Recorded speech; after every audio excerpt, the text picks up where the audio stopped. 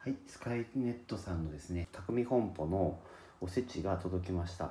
今回はですね、前から気になっていた岩本さんですね、岩本、両手岩本のおせちですね、を取ってみました。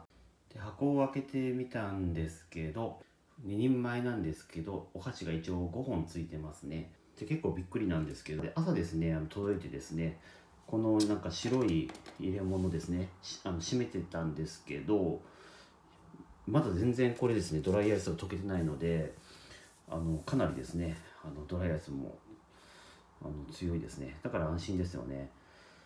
そしてですね両手のまあ定番って言いますかね。お品書きがですね書いたやつが入ってます。で新年のご挨拶ですね。岩本さんからですね。はいということでですね中身を開けてみました。なんか思ったよりなんかすごくいいかなって思ってます。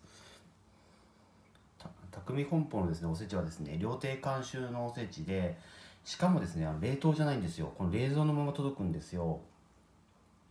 それがいいのかなって思っています。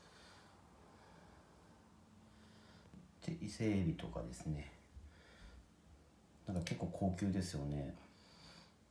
なんかもっとなんかチャッチいものが届くのかなとか思ってたんですけど全然ですねあの想像よりも良かったですね。アワビとかも入ってますよね。さすが料亭のおせちっていうだけあって美味しそうですよね。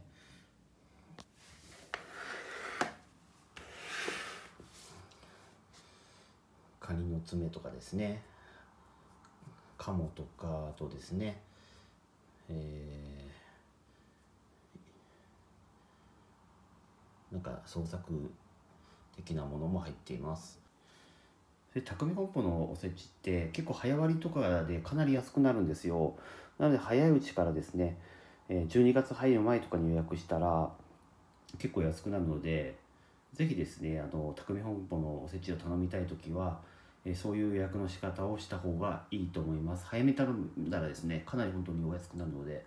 やっぱあのなんかスーパーとかでおせちっていうのもいいんですけど僕はですね結構毎年ですねあのこういうところあの通販かでですね頼んでます。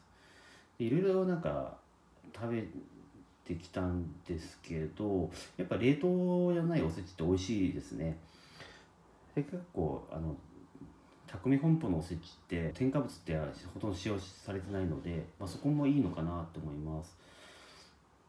結構こだわってますね。でいろいろ食べてきたんですけど僕的にはなんか匠本舗のおせちがすごくいいなと思ってます。また冷凍してないっていうのとやっぱり添加物っていうのはですね僕も結構気にするのであの添加物があんまり入ってないっていうのですねがいいのかなって思います。この動画を見てですね頼みたくなった場合は説明欄ですね匠本舗のですね公式サイトのリンクを貼ってますので早割で注文できますのでぜひですね注文していただければと思います。ありがとうございます。